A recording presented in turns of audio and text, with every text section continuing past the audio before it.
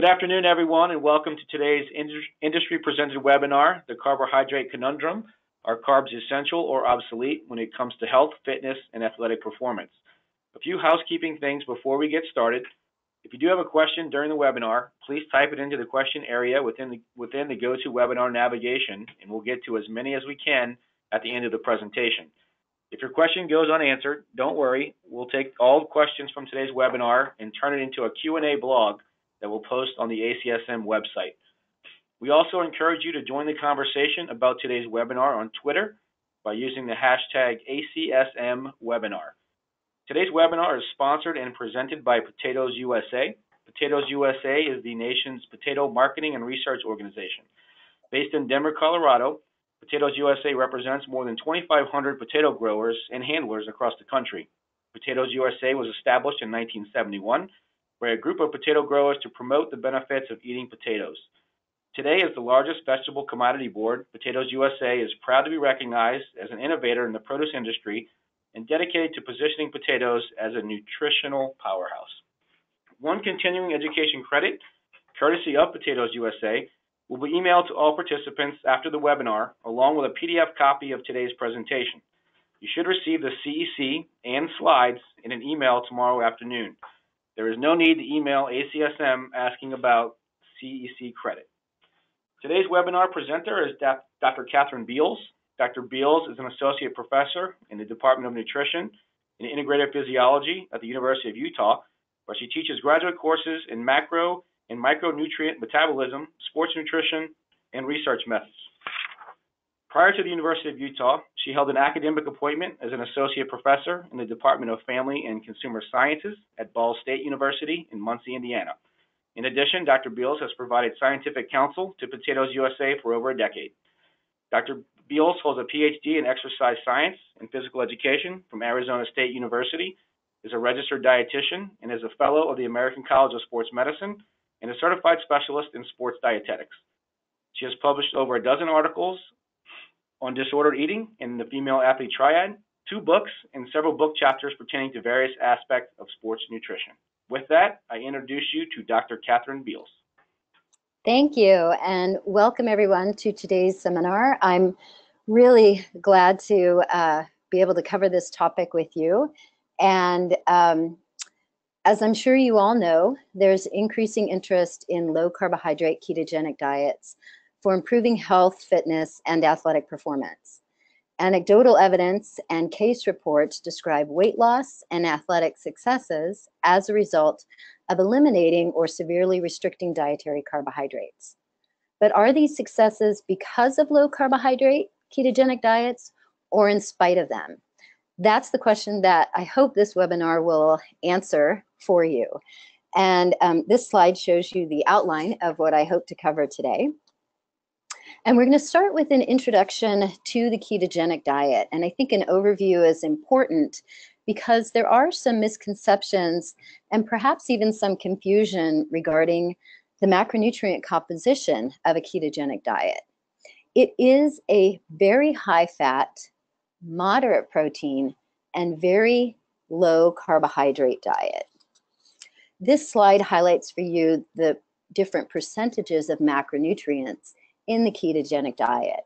And of note, the ketogenic diet is typically less than or equal to 5% of calories coming from carbohydrate. Conversely, there's about 70 to 75% of calories coming from fat. The remainder, which is about 20%, is coming from protein.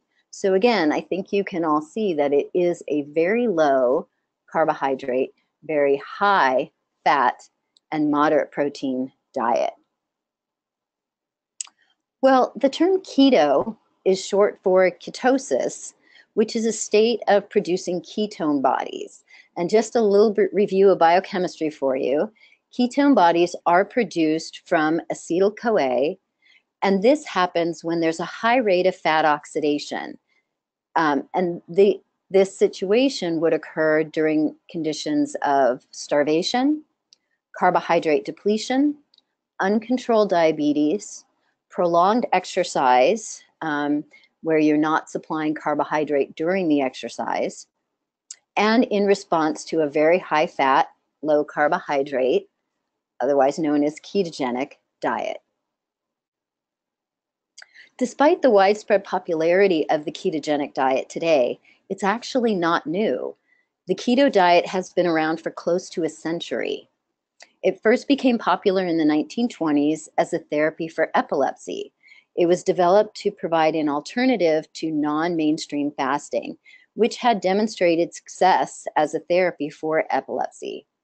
In 1921, an endocrinologist by the name of Rollin Woodyatt noted that three water-soluble compounds, acetone, beta-hydroxybutyrate, and acetoacetate, which are known as the ketone bodies, were produced by the liver as a result of starvation, or if individuals followed a diet rich in fat and low in carbohydrates. Russell Wilder from the Mayo Clinic called this diet the ketogenic diet, and he used it successfully as a treatment for epilepsy. Nonetheless, the ketogenic diet was eventually largely abandoned due to the introduction of anticonvulsant therapies. Although it emerged that most cases of epilepsy could be effectively controlled using these medications, they still failed to achieve epileptic control in around 20 to 30% of epileptics. So for these individuals, and particularly children with epilepsy, the diet was reintroduced and remains a technique for managing the condition today. The ketogenic diet was then resurrected um, in the 1970s by cardiologist Dr. Robert Atkins as a method for weight loss. And he published his book that's very well known, The Dr. Atkins New Diet Revolution. Most recently, the ketogenic diet has made its way into the athletic arena, largely due to its endorsement by a couple of well-known and fairly outspoken exercise scientists, Dr. Jeff Volek and Professor Tim Noakes, who's in South Africa. Before examining the existing research on the ketogenic diet as it pertains to health and athletic performance, I think it's worthwhile to do a little review of energy metabolism and substrate utilization during exercise. So we're all on the same page. So, as we know, exercise, particularly prolonged, moderate to high intensity exercise, or what we would call endurance exercise, creates a significant energy demand. Changes in the body's energy demands from resting condition to mild exercise to moderate exercise to intense exercise are accompanied by shifts in the rates of catabolism of the different stored forms of macronutrients, as well as the metabolism of any exogenous macronutrients that are provided. And these shifts are designed to produce ATP. So where does ATP needed to fuel muscle contraction come from? Well, it comes from the metabolism of the different macronutrients, carbohydrate, fat, and to a much lesser extent, protein. There are three metabolic pathways, also referred to as energy systems, whereby the different energy yielding substrates are metabolized to generate ATP. And this slide highlights these energy systems when they're utilized in exercise, as well as the different substrates that are used within the energy system. So the ATP PCR system, also known as the phosphagen system, is used during very high intensity, very short duration exercise. The primary substrate um, for this system is ATP and phosphocreatine. The anaerobic system, also known as the glycolytic system, is used during high intensity short duration exercise of about 20 to 120 seconds. So this is a system that's used um, significantly during high intensity stop and go type sports. The primary substrate, actually the only substrate that can be utilized in this system is glucose. And then last is the aerobic or the oxidative system. This is the system that's used during endurance activities, so low to moderate intensity, long duration exercise. And for this system, the substrates are glucose and fatty acids. So again, just to summarize the sources of substrate for ATP generation, you have ATP PCR, glucose that's stored both in the muscle as well as circulating the blood, and then lipids that again can be found in the muscle as well as circulating in the blood. And just a note that under normal circumstances, protein is not a primary or preferred source of energy to use during exercise. Historically, the focus of nutrition for exercise and athletic performance has been on carbohydrate for two reasons. One, endogenous supplies of carbohydrate, that is glucose, are limited, as this slide shows you, and they can be readily depleted during long duration exercise of moderate to high intensity. The other reason that the focus has been on carbohydrate historically when it comes to sport nutrition is that glucose is the primary substrate that's utilized during exercise of moderate to high intensity, where the majority of athletes are going to spend their time as they are training and or competing. Now, there are a number of factors that can affect util fuel utilization during exercise. The most important factor determining which substrate will be utilized um, and the relative percentages of glucose versus fatty acids is exercise intensity. Duration of exercise is a secondary determinant as duration is generally dictated by the intensity of exercise. Nonetheless, when it comes to exercise of a sub-max intensity, so around 60 to 65% of VO2 max, the substrate availability can have an effect on substrate utilization, although it is a rather minimal one. So I want to focus now on the role of substrate avail availability in terms of affecting what substrate is oxidized during exercise. So as previously mentioned, carbohydrate has been the macronutrient of focus in sports nutrition because it is the primary substrate used to fuel muscle contraction during intermittent high intensity exercise and prolonged moderate to high intensity aerobic exercise. In addition, as I already mentioned, endogenous glucose supplies are limited. So the focus of sports nutrition has been on optimizing carbohydrate availability, which is generally defined as having a ready supply of carbohydrate when it is needed. So the hypothesis behind training with high carbohydrate availability is that in doing so, you will maintain optimal glycogen stores, which will provide carbohydrate for the muscle, as well as the central nervous system. And this will then support optimal training and improve performance. So what does the research say? Well, the research would support this. Um, research indicates that adequate carbohydrate intake before exercise will top off glycogen stores and this will lead to improved performance. Research also shows that carbohydrate intake during moderate to high intensity, prolonged and or intermittent exercise will improve performance. And finally, research shows that carbohydrate intake post-exercise enhances glycogen resynthesis and aids in recovery, thereby preparing the athlete for the next training bout or competition. And the references for um, these statements are listed below. There are a number of methods that have been utilized in order to achieve high carbohydrate ability. Uh, sorry, excuse me, availability. Uh, these include consuming adequate carbohydrate daily, ensuring that the am appropriate amount and timing of carbohydrate is consumed before, during, and after exercise. And more recently, there has been interest in training the body to utilize more fat, thereby sparing carbohydrate when it's needed. And this concept has been referred to as training low. So I want to talk a little bit about the hypothesis behind training low.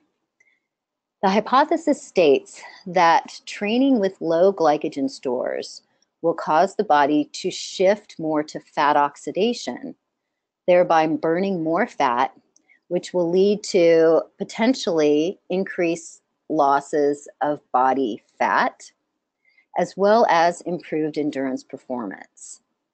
So again, the idea is that training with low carbohydrate ability will result in various physiological adaptations, including mitochondrial biogenesis, increase in beta oxidative enzymes, as well as TCA cycle enzymes, which will all lead to increased fat oxidation and improved endurance performance. So that is the hypothesis. Now, there are a number of different strategies that can be used to uh, train low, so to speak, or train with reduced carbohydrate availability. This table was taken from an article on the subject written by Dr. Louise Burke back in 2010. The strategies that I've highlighted in a red box are those that have actually been studied scientifically and that research has been published. So these strategies include chronically consuming a low carbohydrate diet, which would be our ketogenic diet or fat adaptations, or twice a day training, um, such that in the second training bout, you are training with low carbohydrate availability. So currently, these are the only two methods of achieving low carbohydrate availability that have been studied with research. So let's look at each one of these and see what the research says. Um, starting actually with the second one. So this study, published in 2005, was really the seminal study examining trading, training low using that protocol of twice a day training. So I want to take you through the study. So there were seven subjects, and these were untrained men, and you can see the age range. The diet that they were provided gave them 3,828 calories per day, 70% carbohydrate, 15% protein, and 15% fat. I think we can all agree, looking at this diet, it was not a low carbohydrate diet. This would not qualify as a ketogenic diet low carbohydrate availability then was achieved not by consuming a low carbohydrate diet, but rather by training twice a day, such that the second training bout was completed in a low glycogen state. Okay, so the training stimulus was five days on and two days off. And this slide, um, I actually pulled the the schematic from the study itself, and it highlights how this worked. So the low group represents those training with low carbohydrate availability, and the high group represents the groups or the group training with high carbohydrate availability. And then the one, two, three, four represents the training days. So as you can see, the low carbohydrate availability group was training twice a day whereas the high carbohydrate availability group was only training once a day. And the low carbohydrate availability group was doing their second training bout in a carbohydrate depleted state. So what they did is they trained them in the morning, did not allow them to consume much in the way of carbohydrate after that training bout so that when they went into their second training bout, they were training in a low carbohydrate availability situation. Um, I also want to mention the training because this was sort of an interesting training protocol. And I'm going to back up to the slide to show you um, kind of what they were doing. So the training consisted of a leg extension exercise um, and um, it, it was basically an isokinetic leg extension exercise. So the results. This slide um, simply shows that low glycogen levels were achieved. So if you look at slide B specifically, I want you to focus on that. You have the low carbohydrate availability group represented by low, the high carbohydrate availability group represented by high. And you can see that at rest, glycogen stores were similar. Um, and then post the first bout, you can see that glycogen stores were depleted in the low group. And then what I really want to focus on is that at the end of their second, so they clearly were going into their second training bout in a low glycogen state, and they completed their second bout in an even lower glycogen state. This slide highlights enzymatic changes and demonstrates that there was a significantly greater increase in enzymes associated with fat oxidation in the group that trained low. Now, what about performance? So first of all, keep in mind that performance was measured by looking at time to exhaustion doing that leg extension exercise. And what they found is that while power output was not significantly different between the groups, although they did both increase as a result of training, as we would expect to see. Time to exhaustion was significantly greater in the low carbohydrate availability group, and the total work represented by um, kilojoules was significantly greater in the low carbohydrate availability group. So the authors concluded that training in a low glycogen state increased the synthesis of enzymes involved in fat oxidation. They did not directly measure fat oxidation, and that training low increased time to exhaustion. There were a few limitations to this study, and many of you may have picked these out as I was going along, but let me highlight them for you. The subjects were untrained. These were untrained individuals, so we can't really generalize these results to trained individuals. In addition, the training sessions undertaken by the subjects were clamped at a fixed submaximal intensity for the duration of the training program. And finally, the mode of training, that one-legged isokinetic knee extension exercise, as well as the performance task, submaximal kicking to exhaustion bear little resemblance to the training undertaken by the majority of competitive athletes. Um, maybe it would translate to a soccer player, but I'm not sure many other sports would it would translate to. So more recently, um, in 2008, another study was published looking at this training low concept. And um, this study was published by Yeo et al. And Yeo is a graduate student working under Dr. Louise Burke at the Australian Institute of Sport. And this study sought to correct some of the methodological flaws of the Hansen et al. study. So in this study, um, they utilized 14 competitive cyclists and triathletes. So these were athletes. So the results could be generalized to an athletic population. The training and performance protocol. Um, well, let's look at the performance trial. So it was 60% at 70% VO2 peak, and then they did a 60 minute time trial. And the goal was to complete as much work as possible in that 60 minutes. So much more realistic um, in terms of an actual competitive cycling event. Um, they did three weeks of training where they trained six days a week. And similar to the Hansen study, the low carbohydrate availability group achieved low carbohydrate availability not by consuming a low carbohydrate diet, but by training twice a day. So the low carbohydrate availability group did a 100 minute endurance ride in the morning, then did not replenish glycogen stores after that ride, came back in the afternoon and did a high intensity interval training. And they did this combination every other day.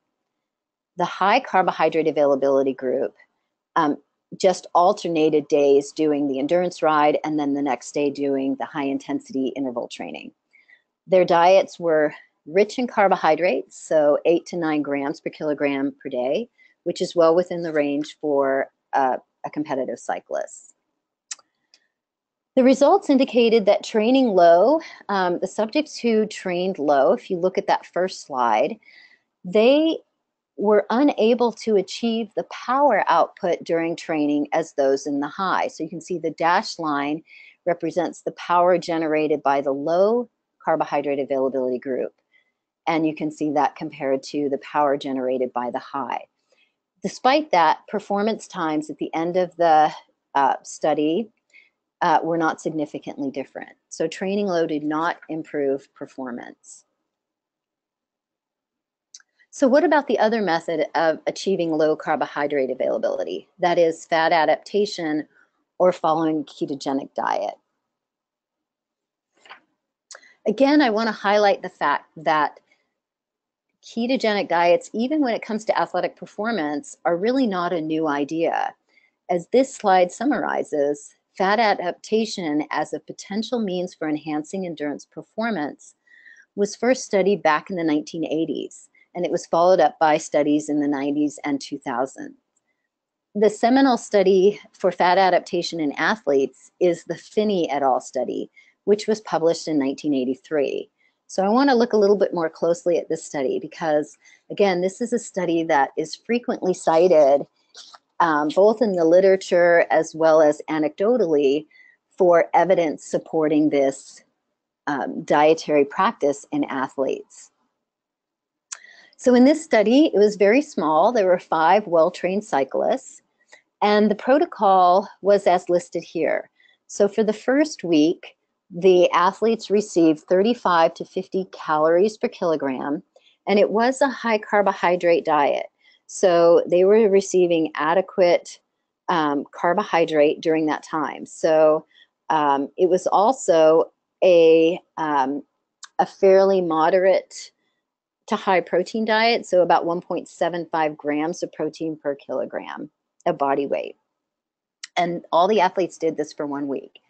And then for four weeks, all of the subjects, all five, were keto adapted. So they all maintained the same calorie intake, but their carbohydrate was dropped to 20 grams or less per day.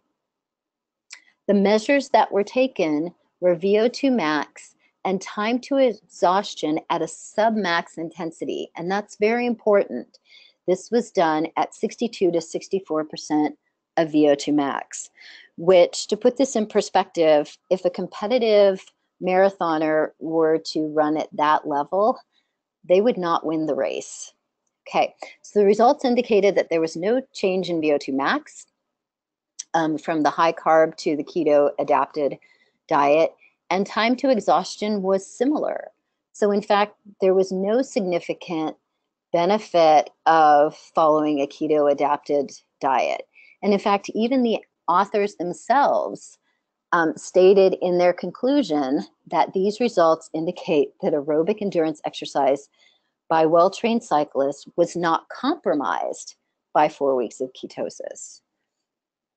I don't know about you, um, but but I am an endurance athlete, and I'm not so excited about following a dietary protocol that isn't going to hurt me, but it's not going to help me either. So again, just to highlight um, this summary slide, uh, after the Phinney study, there were a few more studies that were published um, on the ketogenic or fat adaptation strategy. And you can see by the arrows that, um, in fact, they showed no benefit of that particular diet. Most recently, interest in the ketogenic diet for endurance athletes um, was reignited by the publication of this study by Jeff Volek and colleagues. And again, I want to take you through the study because it's one that's frequently cited as showing a benefit of fat adaptation or ketogenic diets in athletes. So in this study, they identified 20 elite marathon, ultra marathoners, pardon me, and what's important about this study is that it was not a randomized control trial. What they did is they went out and they sought out um, ultra marathoners who self-reported that they were habitually consuming either a high ketogenic or high fat ketogenic diet or a high carbohydrate diet. And then they simply brought these individuals into the lab two different days First, they did a VO2 max test on them, and then they did a submax run at again 64% of VO2 max, which is a submax intensity, for three hours. They did not measure performance. All they measured was metabolic responses. And, and actually the results were not at all surprising. Um, so figure one shows fat oxidation during the VO2 max test for the keto group versus the high carb group. And this is probably the most interesting result of the study. The percentage of maximal aerobic capacity where peak fat oxidation occurred was significantly higher in the ketogenic diet compared to um, the high carbohydrate diet followers. Um, and you know the rest of the graphs and results just highlight the fact that yes, in fact, at submax intensities, fat oxidation was higher in those athletes that were fat adapted, um, which again is not surprising. The body is is very adaptable, and um, you know, and will learn to adapt to the fuel that you provide. Um, but let me highlight again that these were submax intensities. You're not going to win a marathon running at that pace. What's also interesting, and I find it a little bit um, maybe even comical, um, because um, I actually also have a, a, certificate, a graduate certificate in companion animal nutrition. But the authors of this study liken ultra marathoners and the physiological adaptations that they experience to the keto diet to that of sled dogs. And what I can tell you from my graduate study in animal nutrition is that um, the metabolism of dogs um, is very different from humans. Um, sled dogs are not humans. In fact, dogs are able to metabolize fat at a much higher rate than humans. So metabolically, we are very different. This slide just highlights to you um, the other recent studies that have examined um, fat adaptation or ketogenic diets in athletes. Um, and you know, you have this slide in front of you and you will have it um, after this webinar is over, so I don't want to belabor the point, but you can read through the subjects, the methods, and the findings. Again, in most cases, there are no significant advantages to consuming a ketogenic diet. It's not surprising that athletes can adapt to it and they can adjust to it, but that's a very different situation than saying, if I follow this, my performance is going to be significantly improved. And again, as an endurance athlete, I'm unlikely to change my current dietary patterns um, with the um, the claim that, hey, it's not going to hurt you. The final study I want to cover in, in this area with respect to athletic performance um, was very recently published. And again, it's from Louise Burke's lab and the Australian Institute of Sport. And this study examined 29 elite race walkers, and they were randomly assigned to either a high carbohydrate availability group and you can see the breakdown there. A low carbohydrate ketogenic diet, and you can see the breakdown there. And then 10 subjects were um, assigned to periodize their diet by alternating days between low and high carbohydrate availability. And I'm just going to highlight um, the results for you. Again, you've got um, the reference there so you can go pull the study if you're interested. But what they found was that three weeks of intensified training um, in these elite race walkers increased peak aerobic capacity independent of the dietary group that they were in. The adaptation to a ketogenic low carbohydrate, high fat diet, however, markedly increased rates of whole body fat oxidation during exercise, um, but this increased rate of fat oxidation actually resulted in a reduced economy during training, which means that they had an increased oxygen demand for a given speed at velocities that translated into real life race performance. In contrast to training with diets providing chronic or periodized high carbohydrate availability, adaptation to the low carbohydrate, high fat diet impaired performance in these elite race walkers. So just to summarize the research on training low and fat adaptation in athletes, short-term training with low glycogen stores will increase the activity of various enzymes in fat metabolism and does promote a relative increase in fat oxidation relative to carbohydrate oxidation at exercise intensities between 58 and 65% of VO2 max. So very important at sub-max exercise intensities. Athletes can train and even compete while consuming a ketogenic diet. But research has yet to demonstrate that a ketogenic diet improves athletic performance. And as listed here, there could be some um, disadvantages or some negative effects of consuming a low carbohydrate ketogenic diet that should be kept in mind. In the study out of Louise Burke lab, they saw reduced power output and the ability to train at those higher power levels. Um, other studies have shown increased perceived exertion from athletes that are having to train under conditions of low carbohydrate availability. There's a really nice article published not too long ago that examined the um, notion of perhaps it's not so much glycogen sparing that's going on, but glycogen impairing. Um, possible suppressed immune function. There is some good evidence to suggest that providing carbohydrate, particularly during exercise, may enhance immune function and reduce the incidence of upper respiratory tract infections that tend to plague endurance athletes that are training hard and competing regularly. There may be increased fatigue or an increased risk of overtraining syndrome and a possible risk of injury.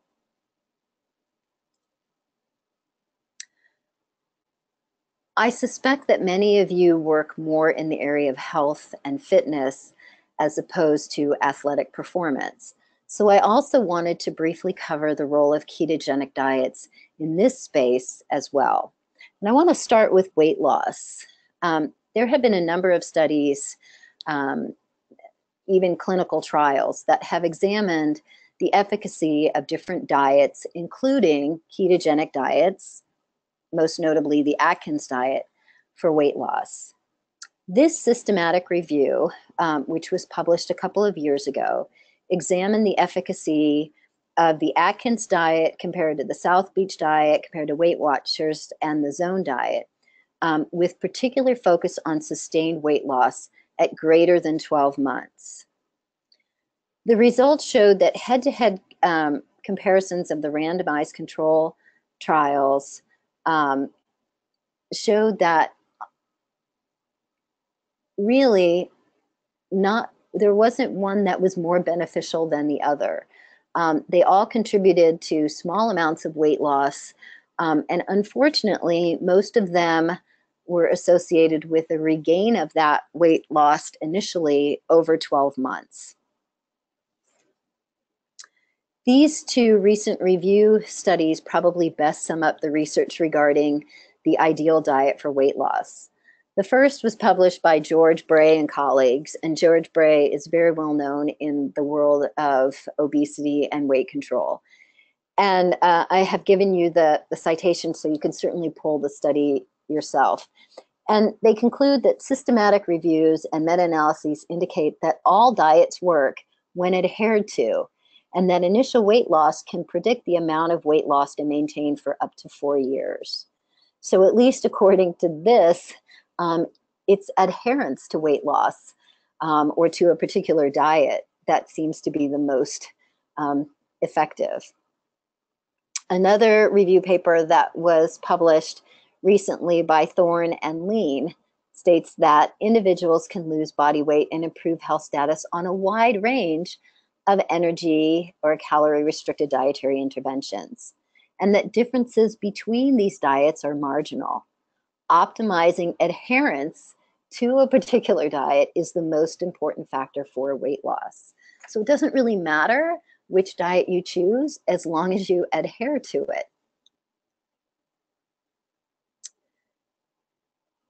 What about diabetes? Well, research has not specifically examined the ketogenic diet in the dietary management of diabetes. but there have been numerous studies that have examined the efficacy of low carbohydrate diets. Now, keep in mind that many of these low carbohydrate diets examined for diabetes were also higher in protein, not necessarily high in fat. And the results of these studies indicate that low carbohydrate diets can improve glycemic control in some diabetic individuals. Currently, though, the American Diabetes Association makes the following recommendations as I have in this table. That carbohydrate intake from whole grains, a wide variety of fruits and vegetables, legumes, dairy products, with an emphasis on foods that are higher in fiber and lower in glycemic load should be advised over other sources.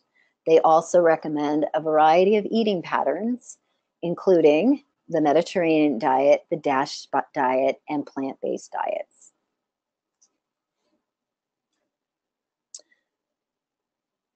The last sort of disease state that I want to examine with respect to the ketogenic diet is cardiovascular disease. And similar to um, what I reported for diabetes, there really is little research that has specifically examined the ketogenic diet that is a high fat, low carbohydrate diet for the prevention and or treatment of cardiovascular disease. However, just like with diabetes, there have been numerous studies that have examined the effects of low carbohydrate diets, generally higher in protein and moderate in fat, for heart disease. In general, these studies indicate that low carbohydrate, moderate fat, um, and uh, moderate protein diets can lower serum triglycerides and raise HDL levels.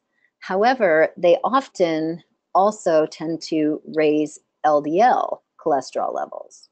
So then the question becomes, is this truly beneficial? Um, if you're raising LDL cholesterol, which we know is not healthy, and high LDL cholesterol is a risk factor for heart disease, does um, the decrease in triglycerides and the elevation of L HDL outweigh the negative effect of elevated LDL? And that's something that's still being debated right now. I pulled this from the American Heart Association position stand, and their conclusion, um, strong conclusion, is that lowering the intake of saturated fat and replacing it with unsaturated fats, especially polyunsaturated fats, will lower the incidence of cardiovascular disease. And again, keep in mind that ketogenic diets are high in fat, and many times, unless it's carefully constructed, can be high in saturated fat. So something to keep in mind. All right, so with that, I want to um, sort of summarize everything that we've talked about thus far um, starting with athletic performance. And as we said previously, short-term consumption of ketogenic diets can cause alterations in substrate utilization, that is a relative increase in fat oxidation and decrease in carbohydrate oxidation at sub-max exercise intensity. Research does not support a performance advantage of ketogenic diets at this point in time. At this point in time, a high carbohydrate diet remains the evidence-based choice for elite endurance athletes to optimize performance. And this just, slide just highlights some carbohydrate-rich foods. When it comes to weight management, research indicates that ketogenic diets, specifically though, really low carbohydrate, high protein diets, not so much ketogenic diets, offer um, short-term weight loss However, long-term weight loss is not um, greater on low carbohydrate diets. The most important factor governing weight loss is adherence to the diet. As far as cardiovascular disease and diabetes, research does indicate that lower carbohydrate diets may provide some metabolic advantages, but the high saturated fat content of the ketogenic diet remains concern. Both the American Diabetes Association and the American Heart Association recommend following dietary patterns presented in the 2015-2020 Dietary Guidelines for Americans And these include the DASH diet, the Mediterranean diet, and plant-based diets. And with that, I'm going to conclude um, the webinar and send it back over to Nate, who I think is going to entertain questions. Yes, thank you very much, Dr. Beals. We do have uh, some questions kind of flying in here through uh, through the toolbar, and I'll try to get to as many as we can. Uh, the first one is actually a combination question. Um, two different folks have sort of asked the same thing. Both Deborah and Caitlin have asked um, if the low if, if a low carb diet won't enhance my athletic performance. What about carb loading? Might I see benefits from increasing my carb intake before endurance training or competition, such as a long run? Yeah. Um, so yeah. So again, as I highlighted on um, one of the slides, and and I've given you the um, the publications that will support that. Currently, the evidence does suggest that training with high carbohydrate availability, and, and that's sort of a new term. Um, the, the old phrase carbohydrate loading is is sort of passe, and, and now the focus is on carbohydrate availability. And the goal is to make sure that you have carbohydrate available that is on board um, before, during, and after your training. And so the recommendations that have been published, um, and they were first published in 2011 in an IOC or an International Olympic Committee position stand, and then you'll also find it in the American um, College of Sports Medicine, um, Dietitians of Canada, and Academy for Nutrition and Dietetics position stand for carbohydrate consumption before, during, and after, um, particularly endurance exercise. And so achieving those recommendations of consuming the proper amount of carbohydrate um, in the hours before you go into training as or competition, consuming the proper amount of carbohydrate during your training or competition based on the intensity and duration of what you're doing,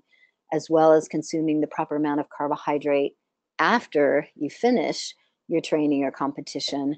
By following those guidelines, you will achieve high carbohydrate availability. And as of right now, the research supports that that is going to be the most effective for optimizing endurance performance. Okay, great, thanks. Another, uh, actually, a couple of folks have had a similar type of question. Both Todd and Logan are asking, um, has there been any research on the keto diet in regards to strength or resistance training? Yes. Um, can uh, Nate, uh, Nate, I'm not sure. Can I re go back on my slides? Are they still up so I can pull them up? I'm doing it. Are the slides still up? Oh, yeah. For, okay. Okay, awesome. All right. So if you look at this study, there has been one, and it's the Wilson et al. study. So in this chart that I produced for you, um, and again, you can pull that study off of PubMed if you'd like.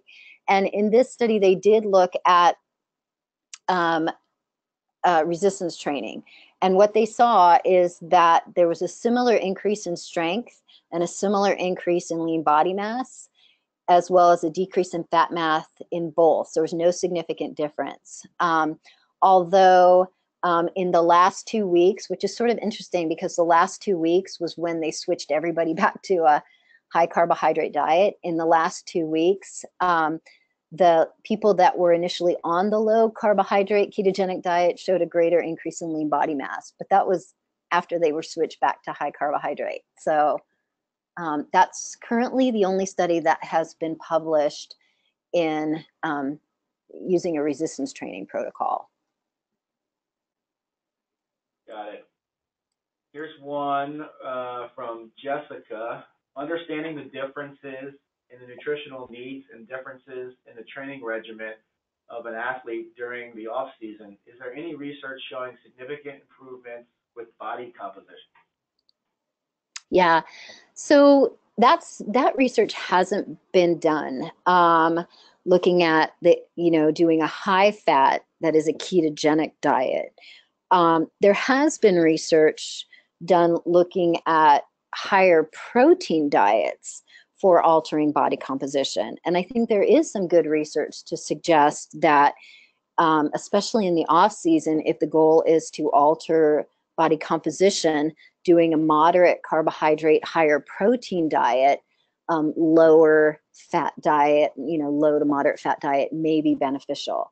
But as of right now, there's no research looking at high fat ketogenic diets. And I think that's that's a really important distinction because um, you know as an athlete i'm training with people i'm in the gym i hear them talk i hear people talk about ketogenic diets and a lot of them are not truly following a ketogenic diet. What they're following is more of a lower carbohydrate high protein diet which is going to have very different um, metabolic effects physiological effects um, it is not the same thing Okay, let's see. You got one from Mary um, asking about the issue of carbohydrate quality.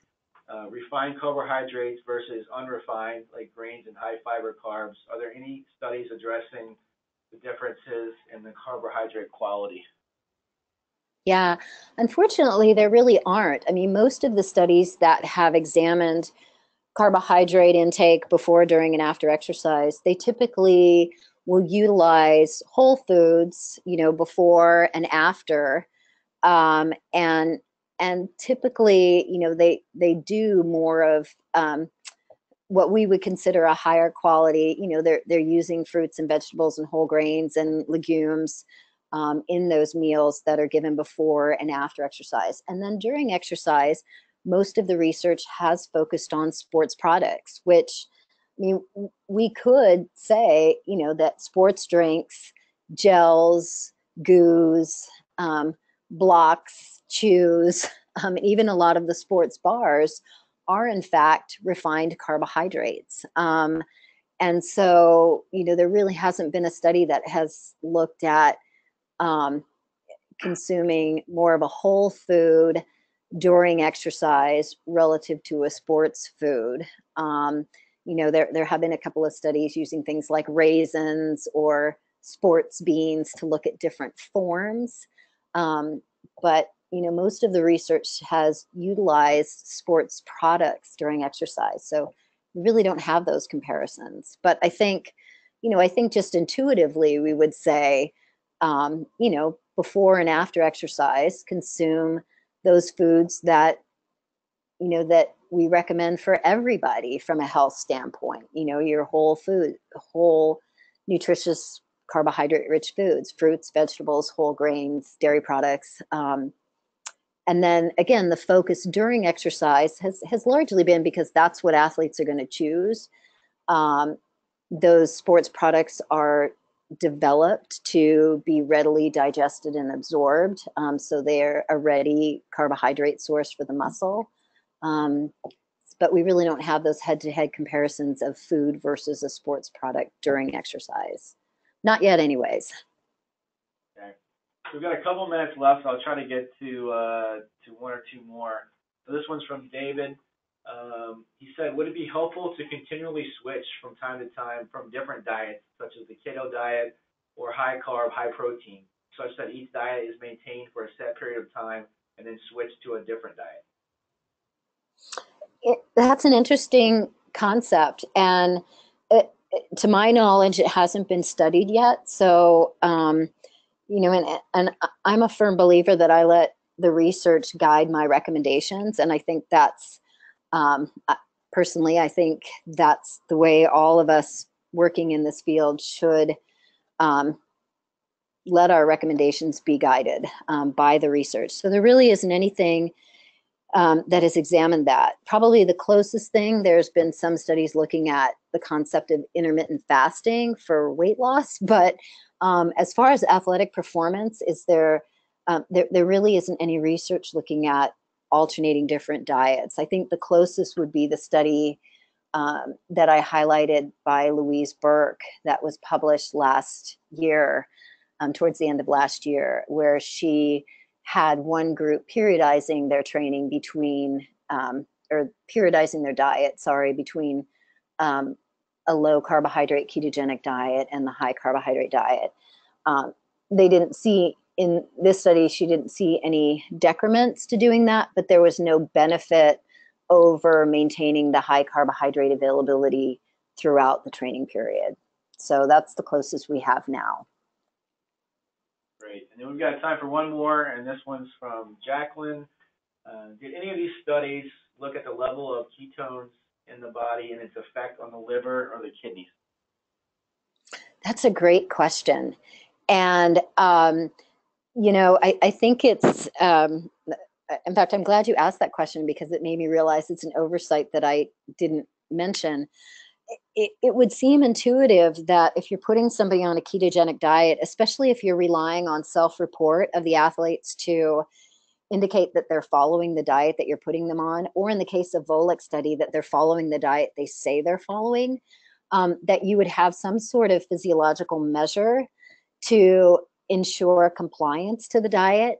And to my knowledge, most of those studies, and and I, I want to go back and review them, um, so I could be wrong, but as far as I know, they didn't actually measure like urinary ketones or blood ketone levels to verify or validate that these athletes are actually following the diet, which would seem to be an oversight. Um, so that doesn't directly answer your question, but um, as far as I know, they have not examined, um, you know, any sort of health effects, um, whether it be changes in blood uh, values or even looking at liver function relative to following the ketogenic diets.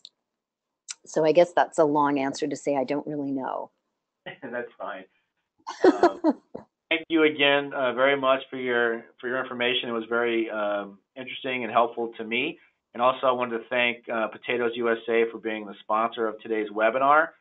Um, and thank you everyone for attending. Uh, as a final reminder, uh, an email with a link uh, with the CEC along with a recorded version of today's webinar and the slides from Dr. Beals uh, will be sent to you guys in an email tomorrow afternoon. So this concludes the webinar. Hope everybody enjoyed it and have a great afternoon.